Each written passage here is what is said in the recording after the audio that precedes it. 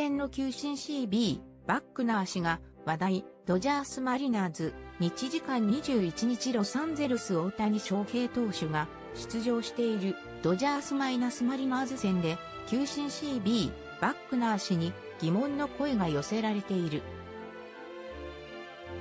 4回は、ウォーカー・ビューラー投手の投球がストライク判定されず、デーブ・ロバーツ監督が怒りの表情を浮かべて駆け寄る場面も。バックナー氏には、ひどすぎる、なんで、こいつが審判ができるんだと、米英ファンのイライラが止まらない。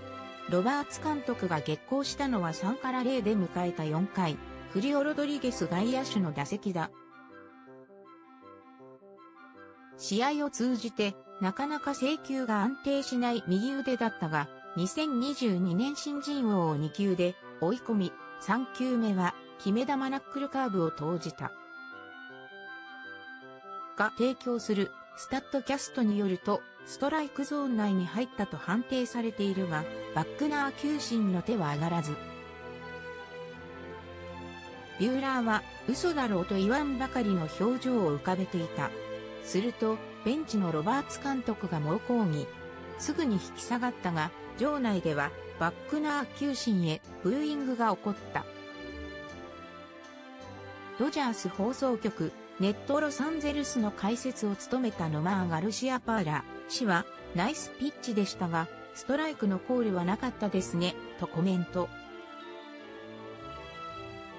実況のジョー・デイビス氏は、ロバーツ監督は選手を守るために駆け足で行きましたねと抗議の意図をもんぱかった。そして彼、ビューラーは CB バックナー球審の大ファンとは言えないですねと付け加えた。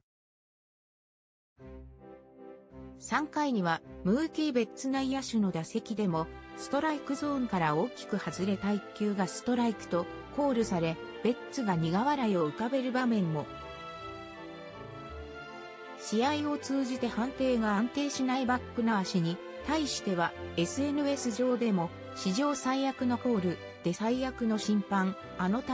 ベッツの打席を見たか。ボール4個は外れてたぞ。ひどすぎると現地ファンからも批判の声が続出している。